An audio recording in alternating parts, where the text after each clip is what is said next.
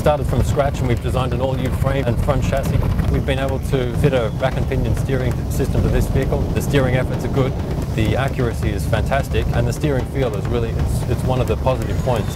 The hydro mount gives the vehicle a much smoother shake performance than say a, a normal rubber mount.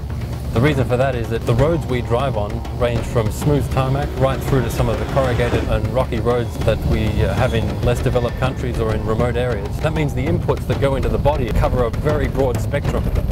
In order to damp the, the shake inputs that come into the vehicle for each of these road conditions, the Hydromount gives us that flexibility and it gives us a comfortable ride, not just on smoother, well-made roads, but also on the unmade roads.